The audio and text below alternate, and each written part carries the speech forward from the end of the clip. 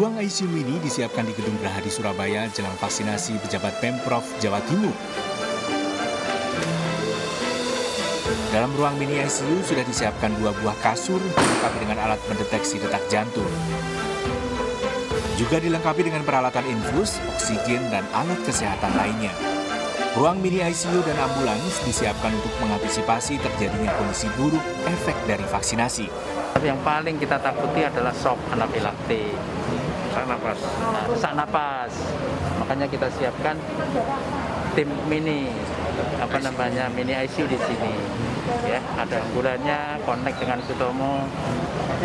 Itu kejadiannya kecil, tapi ya tetap harus kita antisipasi.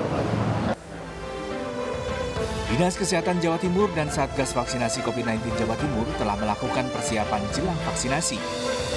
Secara teknis, pelayanan pemberian vaksin sama seperti yang telah dilakukan di Istana Kepresidenan. Wakil Gubernur Jawa Timur Emil Dardak beserta istri Arumi Bahsin menyatakan telah menjalani serangkaian tes kesehatan sebelum divaksin hari ini. Selain Wakub Jawa Timur, Kapolda Jawa Timur serta Pangdam 5 Brawijaya juga akan menjalani vaksin hari ini.